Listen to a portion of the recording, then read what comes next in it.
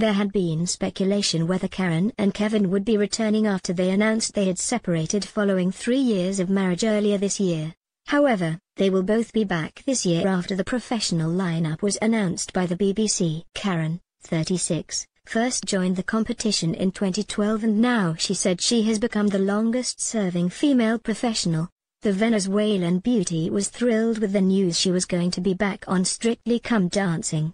Karen uploaded a photo of herself wearing her dressing gown drinking coffee to celebrate. She captioned the snap, which was shared with her 120,000 Instagram followers, celebrating W a cup of coffee this morning on being back for my seventh series on it Strictly. I'm a happy girl X hashtag longest standing female pro. Sick meanwhile, her estranged spouse Kevin was equally as excited to be returning to the dance floor for another year. Posting a picture of himself performing, Kevin, 35, said, thrilled to announce I'll be returning for at Strictly 2018-2013 at Susanna Reid 100 2014 at Francesca Bridge 2015 at Kellie Bright Official 2016 at Louisa Knapp 2017 at Official Susan Calman 2018 Thrilled to announce I'll be returning for at Strictly 2018-2013 at Susanna Reid 100 2014 at Francesca Bridge 2015 at Kellie Bright Official 2016 at Louisa Knapp 2017 at Official Susan Calman 2018 Question mark A post shared by Kevin Clifton.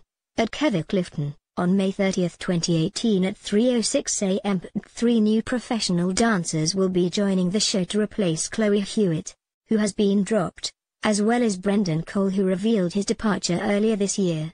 Those joining the lineup include Italian Latin champion Graziano Di Prima, professional South African Latin champion Johannes Radebe and four-time winner of the Italian Dance Championship Luba Mushtuk. Luba will be familiar to Strictly Come Dancing fans as she has already performed on the show with professional dancer Giovanni Pernice. She also appeared on Strictly's Live this year and has choreographed group routines.